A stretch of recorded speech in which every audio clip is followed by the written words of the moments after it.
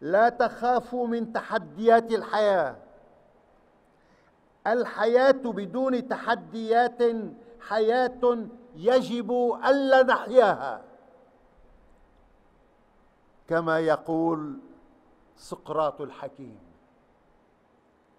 أما إيميل زولا فيقول ساعة أو ربما دقيقة قد تكون كافية ليعمل القدر عمله ويحيل الهزائم انتصارات.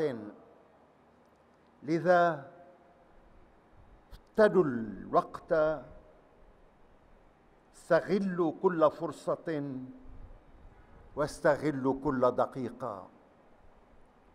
أنتم مسؤولو الغد أنتم بناه المستقبل. أصلحوا النظام. كافحوا الفساد واجهوا التحديات استلهموا الماضي لبناء المستقبل. إنما تعلموا من أخطاء الماضي لئلا تقعوا في مستنقعها وتغرقوا. لقد حباكم الله العقل والقلب والضمير. لا تستهينوا بواحدة منها. بل اعملوا العقل بإلهام القلب بإلهام القلب وإرضاء الضمير. لا تدعوا الكبرياء يتسلل إلى نفوسكم لأنه يهلكها. التواضع فضيلة كبرى. تبعدكم عن استغلال الغير والتحكم به.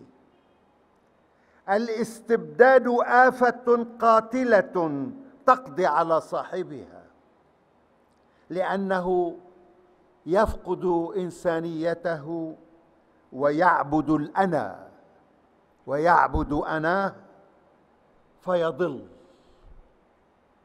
لأنه لا يرى في الكون إلا هذا الانن الناقص. احترموا الآخر. حافظوا عليه. كما تحافظون على أنفسكم. ولا ترضوا له ما لا ترضونه لأنفسكم.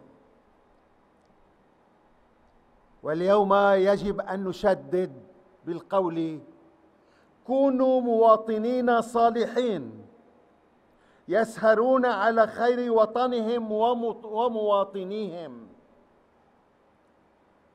يا احباء لا تدينوا لكي لا تدانوا عوض ذلك ارحموا.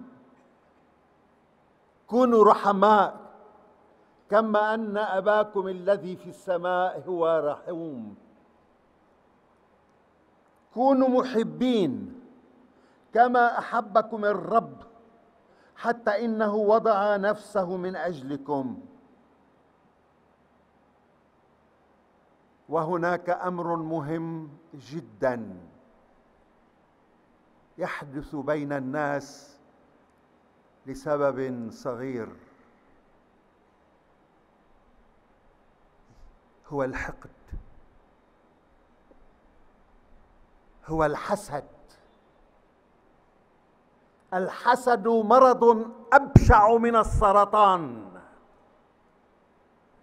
الحاسد يريد أن يقتل كل إنسان ليبقى وحده العظيم.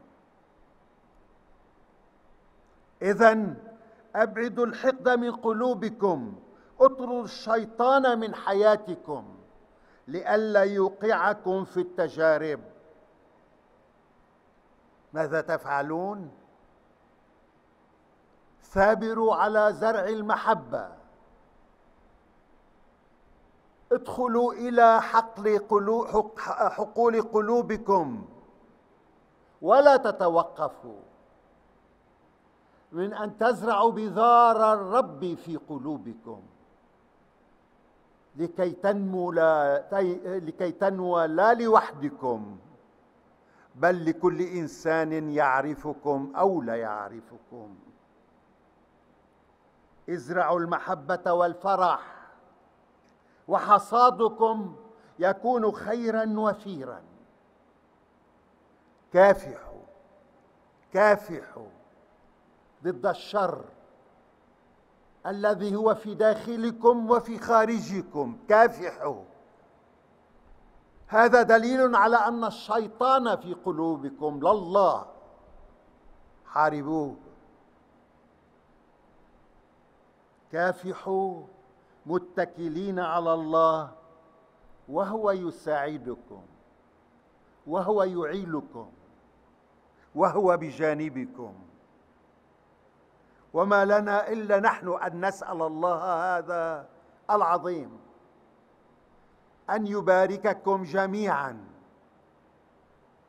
لكي تسيرون في الطريق المستقيم. وفي الإيمان المستقيم. وفي المحبة المستقيمة. نسأله أن يبارك عملكم. وأن يجعل ثماره لخير الناس جميعا. أسأل الله أن يبارككم وأن يمنحكم يا احبائي التلاميذ ويا الجميع مستقبلا مزهرا لتكونوا فخرا لهذا الوطن لبنان الحبيب. Amém.